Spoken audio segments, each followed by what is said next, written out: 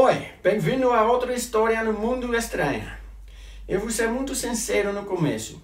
Eu fui levado a essa teoria da conspiração por um dos meus assinantes em um comentário feito há meses atrás. Quando eu pesquisei, encontrei muitos comentários sobre essa teoria que vão des desrespeitoso ao nojento. E devo admitir que eu tenho dificuldade com esse eu mesmo. Na verdade, eu pensei que era longe e difícil fazer esta vi vídeo e eu até tinha fechado todas as janelas na minha pesquisa em um ponto. Mas eu reconsiderou. Eu não subscrevo a essa teoria da conspiração. Eu mesmo, como eu respeito, mas como eu respeito todas as opiniões de todos, eu gosto dos meus assinantes me colocar em histórias, em qualquer histórias, eu vou fazer isso de qualquer maneira. Antes de prosseguir, eu já vou pedir comentários respeitosos de ambos os lados, porque todos têm sentimentos certos e aqui vai nada. Janeiro 28, 1986 foi um dia muito especial para a NASA e a órbita como missão apli, apli, apelida de STS uh, 51L levou consigo um passageiro muito especial. Ela seria o primeiro civil no espaço. Era uma professora do Concord High School, New Hampshire. Ela foi escolhida entre mais de 11 mil candidatos. Toda uma, uma honra. Mas as circunstâncias não favoreceram esta missão. Às 11 horas e 39 minutos, 73 segundos do, do voo, desintrigou-se sobre o Oceano Atlântico da costa de Cabo Canaveral, a Flórida.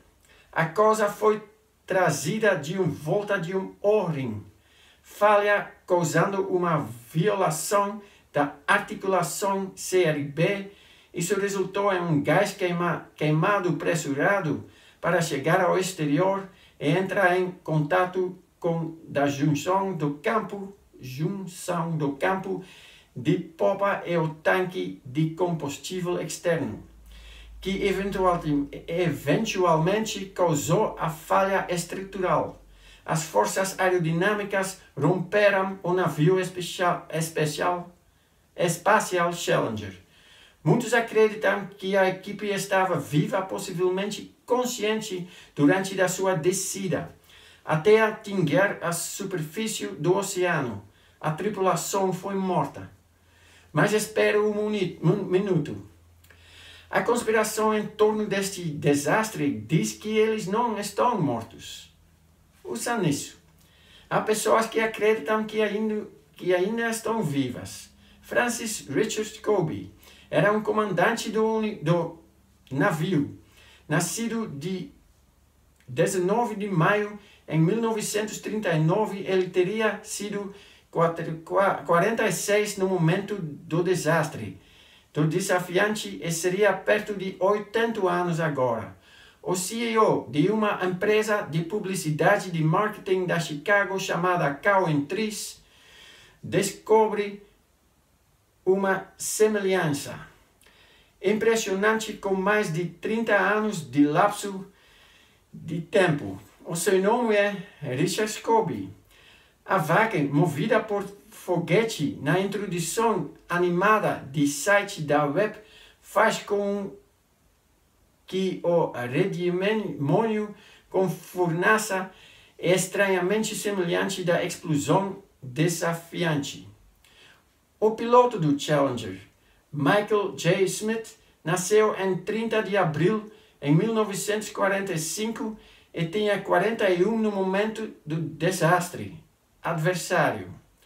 Mas há um homem com o mesmo nome que é estranhamente semelhante a ele.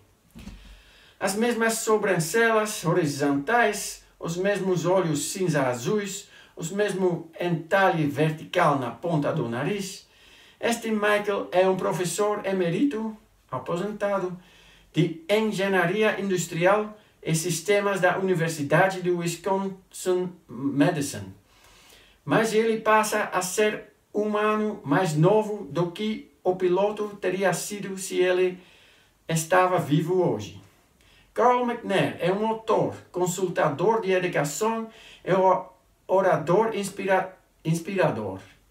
Ele é o fundador e presidente emérito da Fundação Ronald E. McNair, em homenagem ao seu irmão, especialista em missão de Challenger.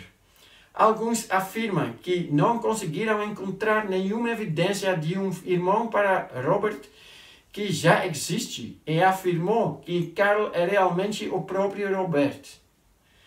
O mesmo poderia ser dito para Ellison Onizaku, Onizuka, o primeiro astronauta japonês que tem um irmão parecido que aparentemente não existe.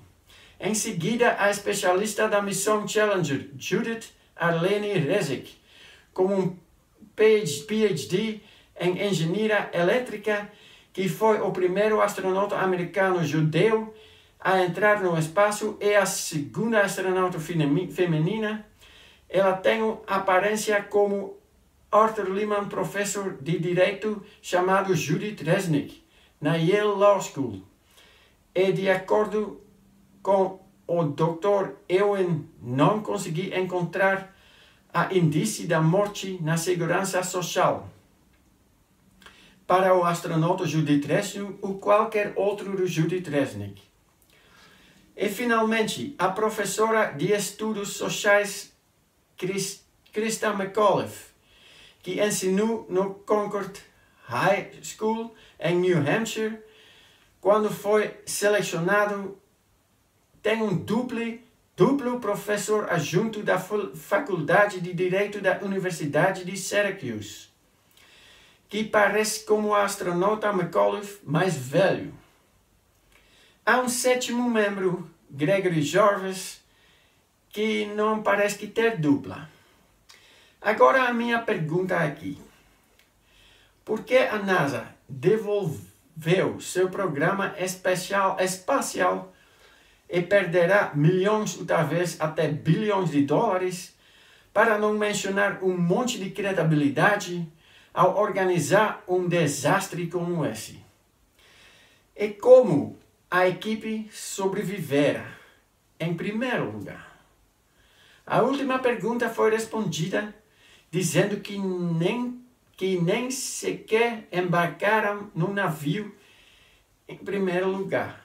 O primeiro, bem, há aqueles que dizem que foi para encobrir um avião da CIA derrubado com drogas em Laos.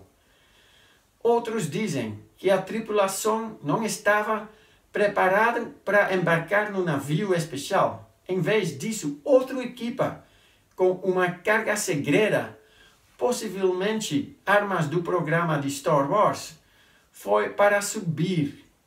Então, foi explodiu sobre eles, deixando a equipe original no chão. Estes apenas usaram trauma para colocar mentiras em nossa psique. Mas essas pessoas que são capazes de tanto mentiras e terror deixaram a tripulação viva à vista para todos verem? Eles não iriam fazê-lo desaparecer? Entende? Mas uma Outra coisa, todos não têm um duplo em algum lugar neste mundo. Olha, para esta foto aqui, um homem encontrou sua dupla na cadeira ao lado do voo que ele tomou. Me desculpa, mas não consigo envolver a cabeça em torno dessa conspira conspiração. Com todo o respeito pelas opiniões e pensamentos de todos. Não posso acreditar nessa conspiração, não. Mas então, minha opinião não é a mais importante, não. Mas a sua é. Então, me diga o que você pensa. E se eu deixasse algo, alguma coisa, não hesite em me dizer. Apenas seja respeitoso nos seus comentários, por favor. Há pessoas reais, com sentimentos reais no outro lado. Se você gostou desse vídeo, você pode curtir e compartilhar.